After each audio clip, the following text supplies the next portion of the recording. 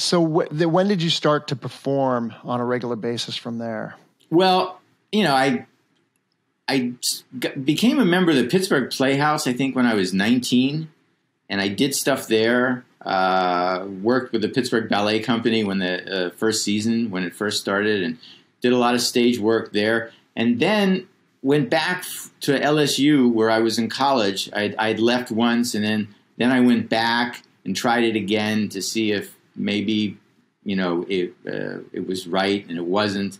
Uh, so I dropped out of school and went to the Catskills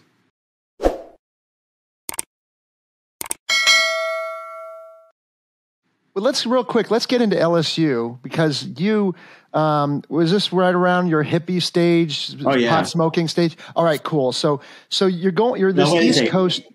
Most of my life has been around my pot smoking stage. So let's, okay, great. Which we'll get into the juxtaposition between sure. you know your personality, the El Yid. Later on, we'll get into that. You know, between that and and then the difference between you know who you were in your college time or pretty much your, throughout your whole life but when you were going from pittsburgh to louisiana this hippie pot smoking jewish kid from pittsburgh you went to lsu what was that like well uh, remember i said that when i was uh, uh, eight my mother moved to louisiana so yeah. yeah okay so i actually had an address there and i went as an in-state student and but getting to to what I believe you're speaking about, uh, it's it's worth noting that I went to college and had classes with and was around David Duke when he was that age. David David and I used to debate each other. I, he probably would. I don't know if you remember. I was just probably some you know exactly what you said. Some one one more pot smoking northern hippie, right? But right. but um, I used to debate him at LSU's Free Speech Alley, and he, much to his consistency credit, was an asshole then, and he's an asshole, racist asshole now.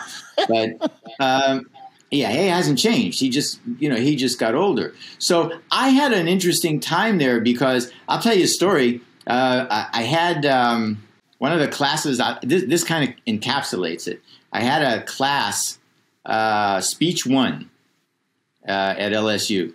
So I walk into to the first day of the class, and um, you know all different kinds of people are sitting there, but you know ones that you can really identify are not you know city people; they're rural because LSU grabs a lot of that, and they're great people, but they just come from different backgrounds.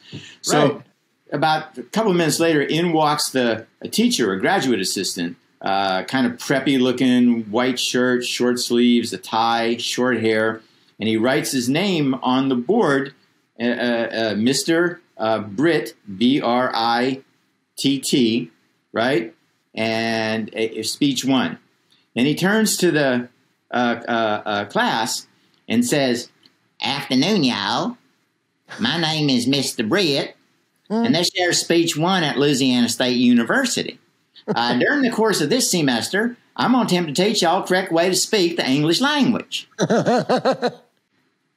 Now, oh okay, now cut to four, three and a half decades later, or something, two and a half decades later.